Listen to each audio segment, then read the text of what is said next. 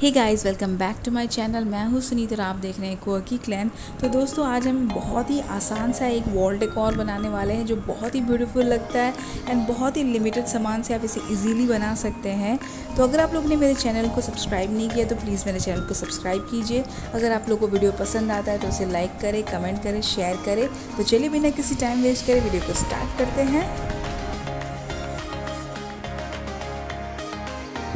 तो यहाँ पे मैंने ये कार्टून का एक एक ओल्ड सा मेरे पास एक बॉक्स पड़ा था उसमें से मैंने ये कार्डबोर्ड कट कर लिया है जितना बड़ा मुझे अपना ये फ्रेम बनाना था।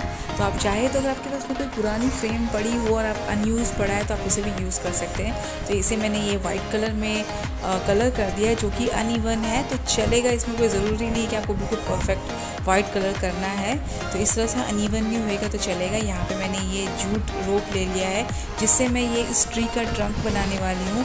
तो अभी आपको ट्रंक का साइज़ कितना रखना है, कितना उसका वेट रखना है, कितना उसका लेंथ रखना है, वो टोटली आपके ऊपर डिपेंड करता है। तो आप अपने हिसाब से उसे कट कर लीजिए। तो यहाँ पे मैंने ये फेविकॉल लिया है तो हॉट ग्लू भी आप यूज़ कर सकते हैं।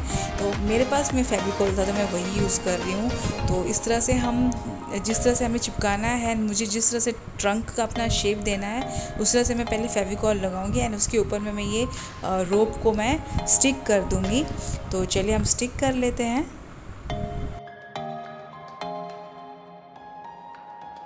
यहाँ पे ये ब्रांचेस बनाने हैं एंड मैं इसको थोड़ा सा नेचुरल लुक देना चाहती हूँ। तो मैं इस तरह से इस जूट के रोप को स्टिक करूँगी तो आपको आपको ऐसा लगेगा कि जैसे डालियाँ हैं।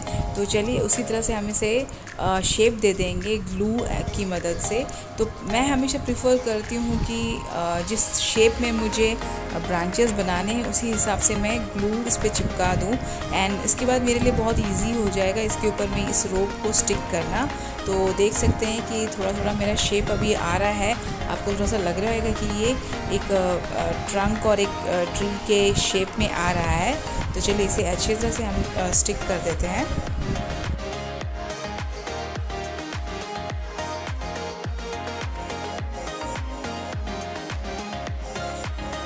ये जो रोप है, मैं नीचे भी स्टिक करूँगी।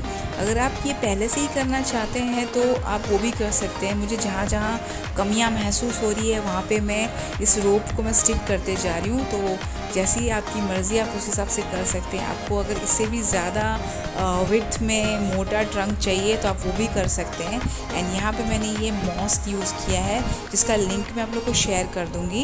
एंड अब अब मुझे कुछ नहीं करना है, बहुत ही ईजी है। जस्ट मुझे ब्रांचेस को स्टिक करते जाना है।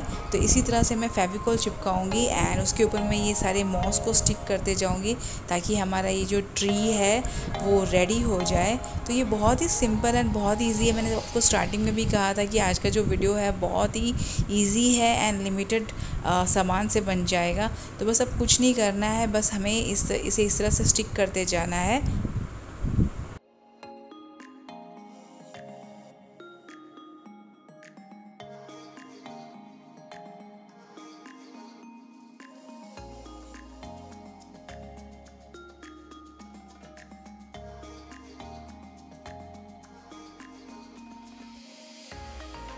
हम सारे मॉस इसमें स्टिक करते जाएँगे। अनटिल अनलेस हमको ये ना लगे कि ये ट्री का शेप ले रहा है तब तक हम इसे सारे स्टिक करते जाएँगे। तो देखा आपने ये बहुत ही इजी है बहुत ही लिमिटेड सामान से आप इसे बना सकते हैं। मैंने इसमें मुश्किल से आ, तीन से चार चीज़ें यूज़ किए हैं बहुत ही इजीली ये बन गया है। एंड ये बहुत अच्छा भी लगता है तो आप लोग भी इसे ज़रूर ट्राई कीजिएगा।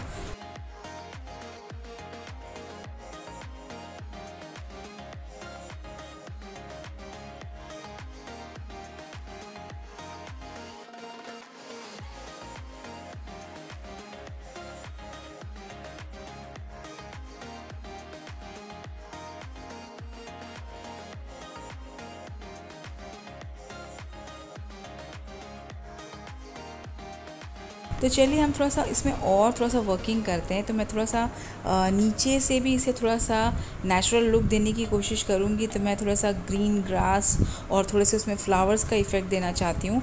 तो वैसे ही मैंने वापस से इसमें फेविकोल मैं इसमें बिछा स्टिक कर रही हूँ। उसके बाद में मैं अगेन इसमें मॉस चिपकाऊँगी सो डैट ये ग्रास का लुक दे। तो चलिए इन्हें भी हम इस पर चिपका देते हैं।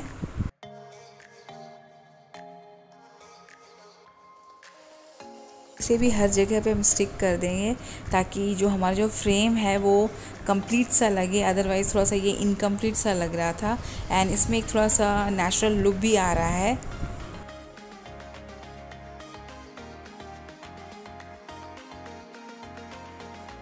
ग्लास इफ़ेक्ट तो दे दिया है चलिए थोड़ा सा इसमें फ्लावर्स भी हम स्टिक कर देंगे।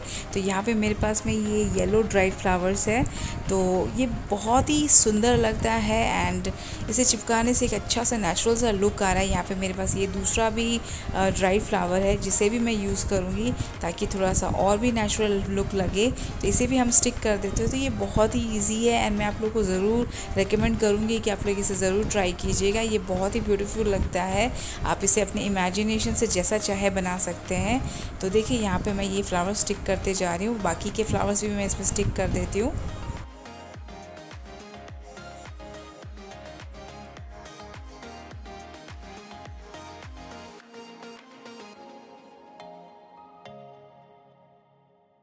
दोस्तों, जब आपके फ्लावर्स इसमें स्टिक हो जाएँ तो लास्ट हमारा काम रहेगा इसे एक थोड़ा सा और भी फिनिश्ड लुक देने के लिए। तो यहाँ पे मैं बॉर्डर्स के लिए अगेन मैं जूट रोप यूज़ कर रही हूँ।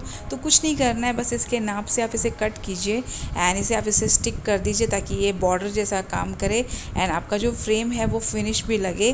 तो चलिए, इसे भी हम स्टिक कर देते हैं।